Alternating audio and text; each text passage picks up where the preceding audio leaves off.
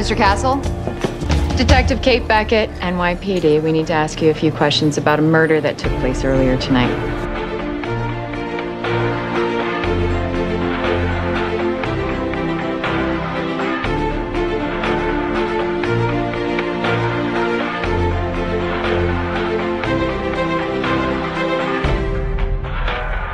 Beckett.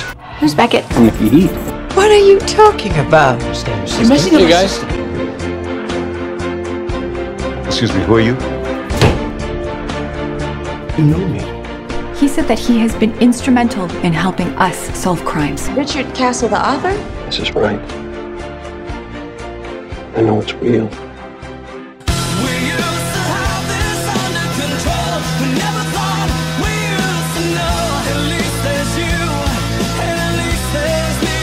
I don't want to have another conversation about how crazy this is. This